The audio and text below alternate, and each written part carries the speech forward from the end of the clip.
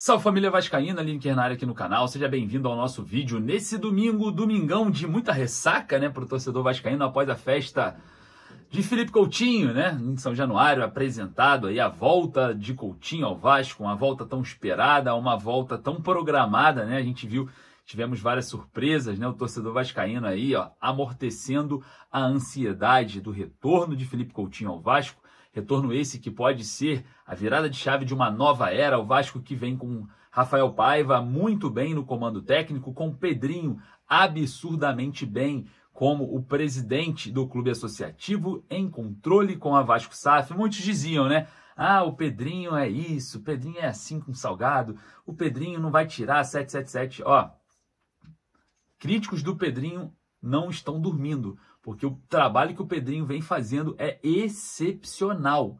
Excepcional. Não temos o que falar de Pedrinho a não ser elogiar o que ele vem fazendo pelo Vasco. Na minha opinião, tá? Na minha opinião, queria saber a sua. Já vai lá nos comentários, já me fala aí o que, que você está achando do trabalho aí do Pedrinho à frente, a presidência não só do clube associativo, mas sob controle da Vasco SAF. Queria muito saber o que você está pensando, né? O que você está projetando para o futuro diante desse cenário tão especial, não só dentro de campo com o retorno do Felipe Coutinho, mas também de representatividade com a camisa vascaína, o que vem fazendo o Pedrinho na presidência. Porra, obrigado, Pedrinho.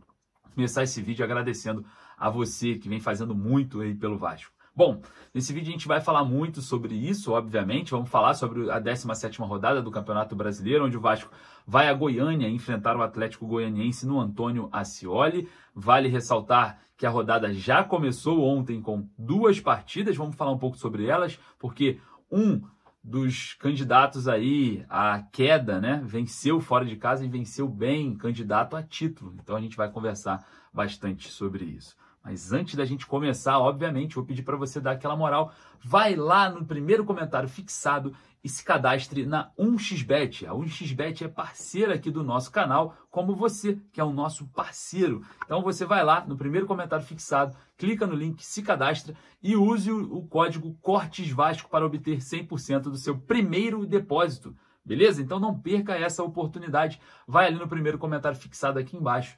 Antes, deixe seu like e, obviamente, sempre dê a sua opinião, que é a base aqui do nosso trabalho. Bora pro vídeo, porque tem muito assunto legal.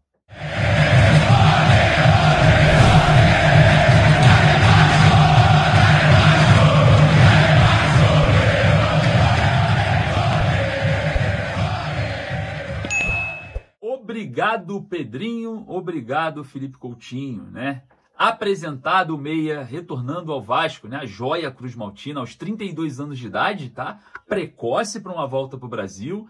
Normalmente isso não acontece nessa idade ainda, é idade que dá para performar na Europa, dá para performar no mundo árabe também, quem sabe, né, na MLS, que já é um mercado alternativo para esse tipo de jogador.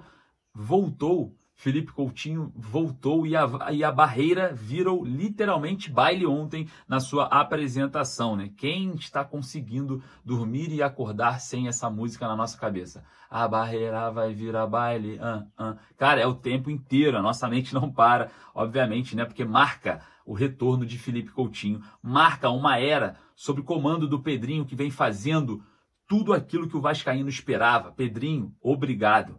Coutinho também, obrigado por retornar. Pedrinho deixou muito claro que você fez inúmeros esforços, abriu mão de muita coisa para estar no Vasco e a gente agradece demais a sua presença, demais. Você significa muito para essa torcida, você tem o carinho de toda a torcida vascaína e o Pedrinho também. Não tem como criticar. Eu fico imaginando como que ficam os críticos do Pedrinho. Não, não, não devem mais existir, né? Não devem mais existir. Então, sócio, parabéns por ter elegido o Pedrinho. Parabéns, Pedrinho, porque você vem fazendo, você afastou a 777, você contratou o Felipe Coutinho. Na sua gestão, vamos viabilizar a reforma e construção e ampliação e modernização de São Januário. São muitos feitos para poucos meses de trabalho. Parabéns, Pedrinho, você vem representando muito o torcedor vascaíno e obviamente a gente não pode ser injustos com você que vem fazendo esse trabalho maravilhoso. Você, na minha opinião, está sendo um dos, se não o melhor presidente do Vasco de todos os tempos.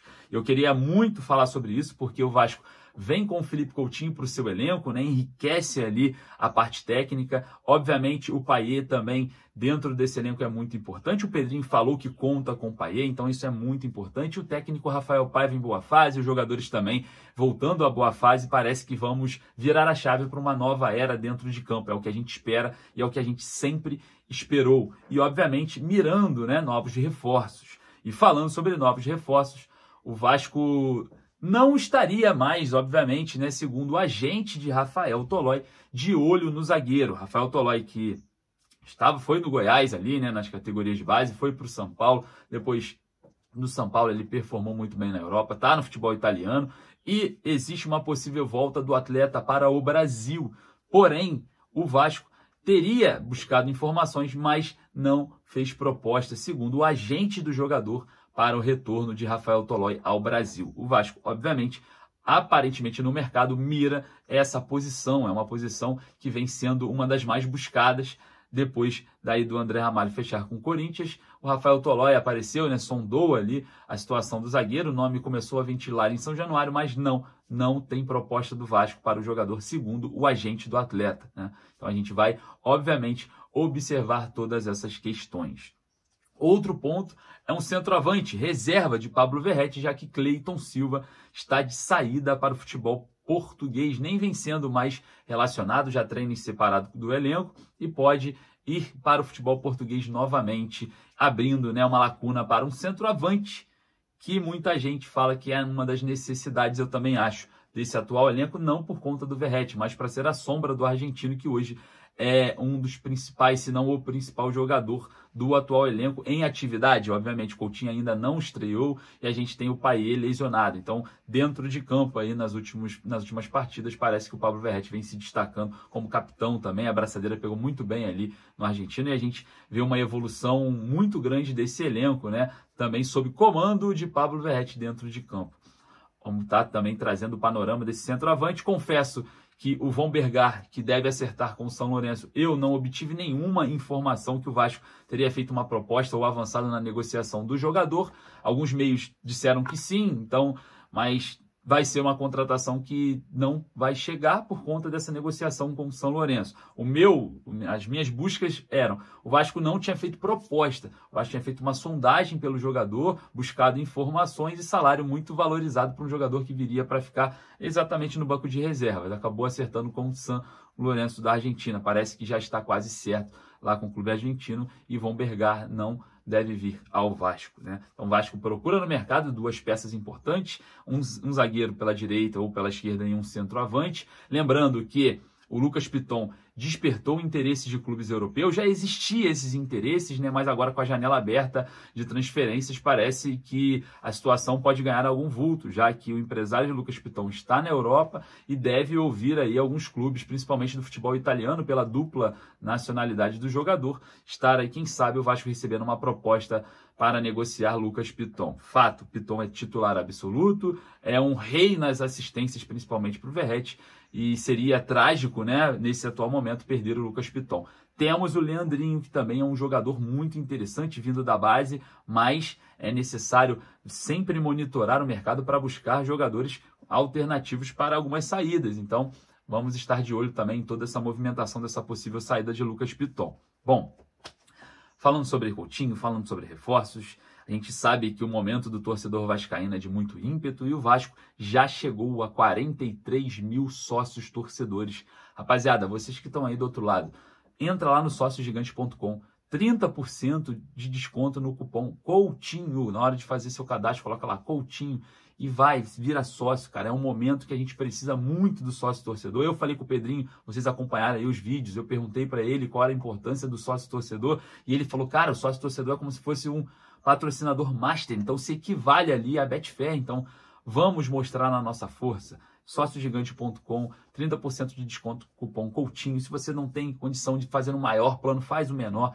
Ajude o Vasco nesse momento muito importante da temporada de afastamento da 777. Não teremos aporte agora em setembro e o Pedrinho está fazendo aí de todo o seu network, as tripas e coração, mantendo o Vasco financeiramente saudável e vai manter, porque o Pedrinho vem fazendo um trabalho excepcional. Eu não vou me cansar de falar isso. Excepcional. A gente tem que ser justo com as coisas que vêm sendo feitas de forma correta, certa e com clareza para o torcedor vascaíno. Bom, então vai lá, sóciogigante.com, não perca essa oportunidade. Já somos mais de 43 mil sócios e vamos para mais com toda certeza absoluta. Bom, Campeonato Brasileiro, o Gigante da Colina enfrenta o Atlético Goianiense na quarta-feira, às 19 horas, no Antônio Ascioli, e nós estaremos presentes em Goiânia, acompanhando toda essa movimentação, todo esse jogo, um jogo importante, onde o Vasco já tem seus 20 pontos na 11ª colocação, 17ª rodada que começou ontem com vitória do Cruzeiro no Independência sobre o Bragantino por 2 a 1